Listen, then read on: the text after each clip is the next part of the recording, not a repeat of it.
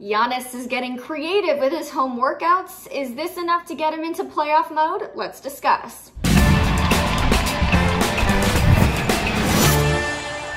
Hi guys, it's Devin Howard. If you want to follow me on Instagram, find me there as at Devin Howard. Double check that you've subscribed to The Fumble and that you've tapped the bell so you never miss a video from us.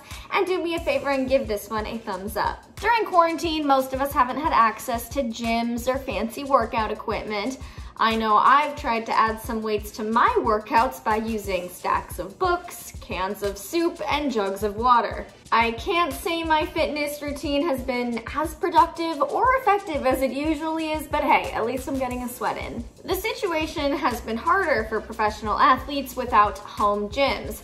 And even though it appears Giannis does have a pretty sweet setup at home, he decided to get creative with this workout. He's using his baby as his motivation to get as low to the ground as possible during his set of push-ups. Okay, so that was probably the most adorable thing I've seen all quarantine. I love seeing Giannis as a dad. It's so cute. This also reminds me of the beginning of quarantine when everyone was doing that push-up challenge.